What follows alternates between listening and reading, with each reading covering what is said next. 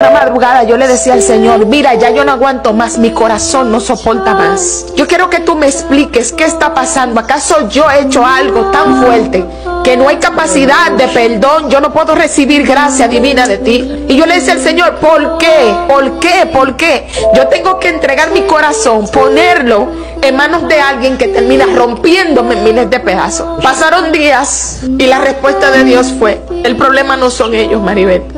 El problema eres tú. El problema eres tú porque tú no sabes lo que tú vales.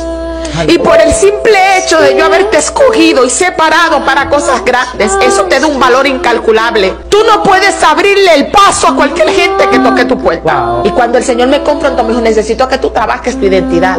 Yo necesito que tú te concentres ahora, en el hoy. Yo necesito que tú aprendas a que yo soy tu todo. Yo soy tu primero, yo soy tu segundo y yo soy tu último.